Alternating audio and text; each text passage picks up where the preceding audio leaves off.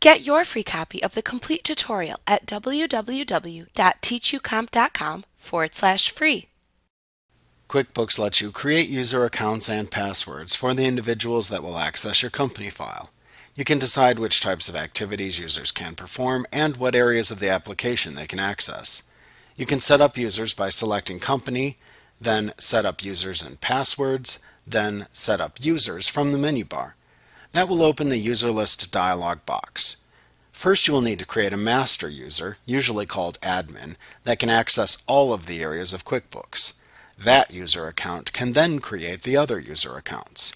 You typically create the admin user during the Easy Step interview. That is then the default user account for all activities until you create more user accounts.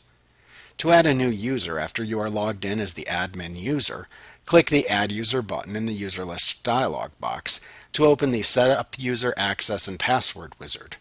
Type the username for the new user into the username field and type a password for the user into the password field.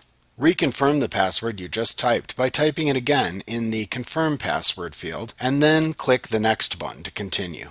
Note that to add the new user to your existing QuickBooks license, check the Add this user to my QuickBooks license checkbox. You must purchase a license for each concurrent QuickBooks user. On the next screen, you can set the user's access to all areas of QuickBooks, selected areas of QuickBooks, or external accountant. If you choose either all areas of QuickBooks or external accountant, you will need to click either yes or no in the confirmation prompt window that appears when you click the next button to continue. You then simply click the finish button in the next screen to finish setting up those two types of users. However, if you selected the Selected Areas of QuickBooks option button, you will see the Sales and Accounts Receivable screen appear when you click the Next button to proceed.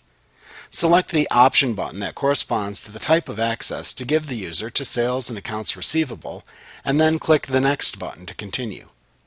In the Purchases and Accounts Payable screen, select the option that corresponds to the type of access to give the user to purchases and accounts payable, and click the Next button to continue. In the Checking and Credit Card screen, select the option that corresponds to the type of access to give the user to checking and credit cards in the company file, and click the Next button to continue. If inventory is enabled, then in the inventory screen that appears, select the option that corresponds to the access to give the user to inventory and click Next to continue. If time tracking is enabled, then in the time tracking screen that appears, select the option that corresponds to the type of access to give the user to time tracking and click Next to continue. If payroll is enabled, then in the Payroll and Employees screen, select the option that corresponds to the type of access to give this user to Payroll and Employees, and click Next to continue. In the Sensitive Accounting Activities screen, you would select the option that corresponds to the type of access to give the user to Sensitive Accounting Activities, and then click the Next button to continue. In the Sensitive Financial Reporting section, you can then select the option that corresponds to the type of access to give this user to Sensitive Financial Reporting and click Next to continue.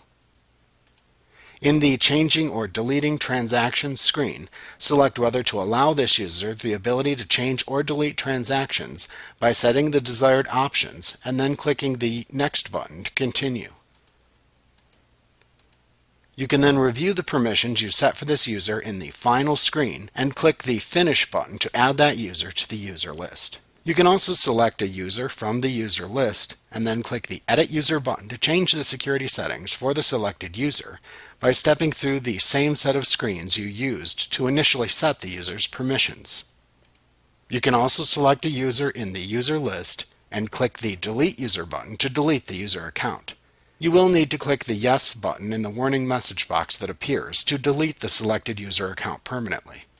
When you are finished with the user list dialog box, you can click the Close button within it to close it.